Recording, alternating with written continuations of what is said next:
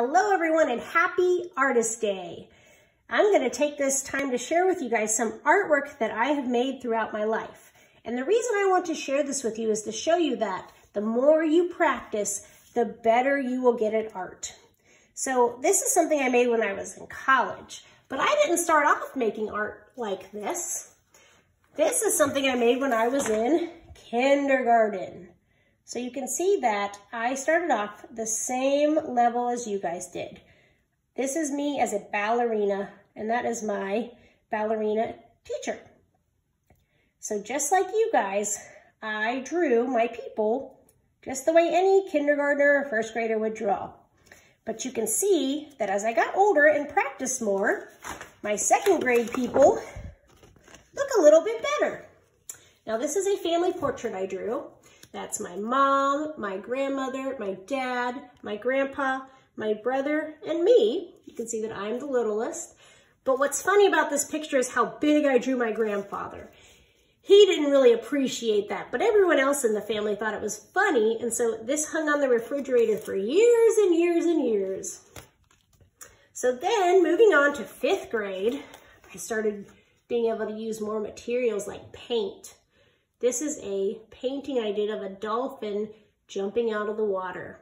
And what I like about this painting is some of the texture that you can see, the different colors, and it looks like you can feel the ocean. So I was able to do that in fifth grade from practicing. Something else I got to do in fifth grade was I was a part of a claymation workshop and they actually came from the newspaper and took pictures of us doing it. So claymation's kind of hard to explain if you've never seen it, but you can see this little clay figure. It looks just like me. It's my claymation self-portrait. It Claymation is like a cartoon, but instead of the people being drawings, they're little clay figures that walk around. If you've ever seen the show Shaun the Sheep, that's how they make that show. So then I got older and I moved on to middle school. So that's sixth, seventh, and eighth grade. And in middle school, um, we had art every day for um, a third of the year. And then we had gym every day for another third, and then music every day for the last. So being able to be in the art room every day and drawing like that really made my skills get better. So for this project, we were given a ribbon and we had to lay it out on the table. And then we had to kind of look at the places where it bends. And you can see that they get darker and then lighter. So we were trying to draw it realistically, so it looked like real life. But for the background, we could choose whatever background we wanted. So I decided to draw a theater curtain with some theater masks. Something else I made when I was in middle school was this picture. For this one, we had to look at our shoes. So it might be hard to tell, but that's actually a shoe right there.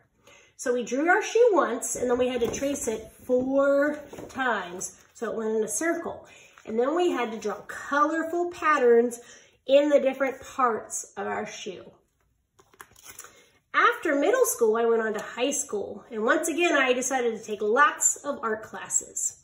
So in art in high school, they focused on us trying to draw realistic things like ourselves. So we did a lot of self-portraits. So here I am, and I drew this with colored pencil.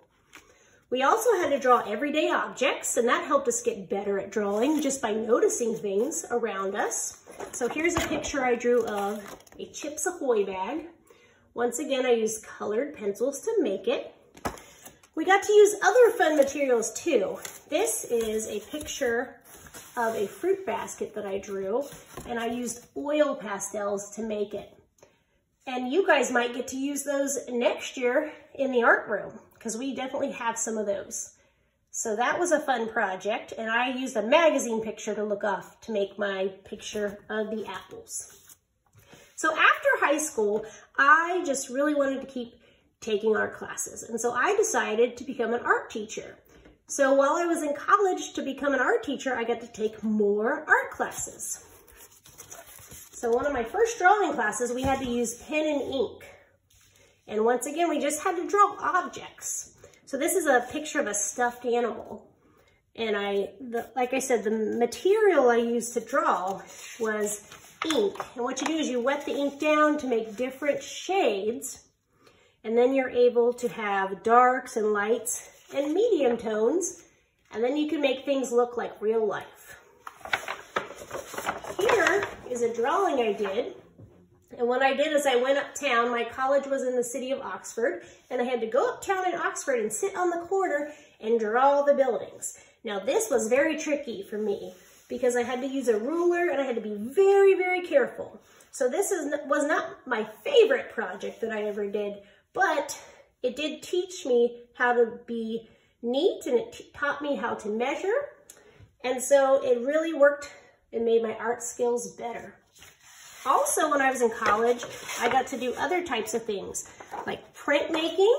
Printmaking is really fun. You get to make stamps and then you can make two of the same artwork. So this is one something I made and it is some ants carrying some fruit over to their nest. Also, when I was in college, I got to take a metals class. So this is a picture of a pin that I made. So you could actually pin this to your shirt. Down here, there's a little safety pin. And I got to take a painting class. This painting is really, really big, so I had to show you a picture of it. But uh, a girl came into our class and sat in a chair, and we all sat around and had to paint a picture of her.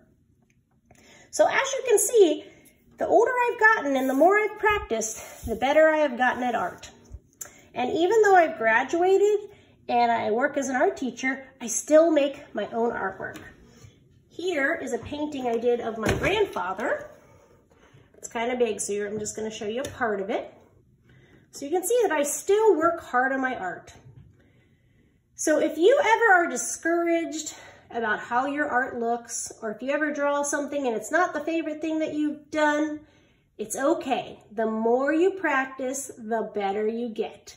So keep on practicing, and I love seeing your guys' artwork, and I hope I get to see you guys next year in the art room.